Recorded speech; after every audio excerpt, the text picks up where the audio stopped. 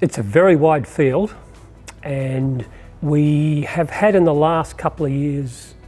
for basal cell cancer the introduction of what's called the hedgehog inhibitors and with experience it's clear that we need something more. For squamous cell carcinoma the immune checkpoint inhibitor therapies with uh, and uh, pembrolizumab um, which are very commonly used in other malignancies are starting to become a little bit more commonly used in squamous cell carcinoma. Unfortunately, they're not yet available on the PBS for treatment, but I think everybody understands this is where the future of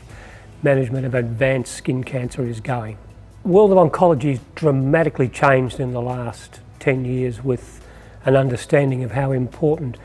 modulating the immune system can be for managing patients with various malignancies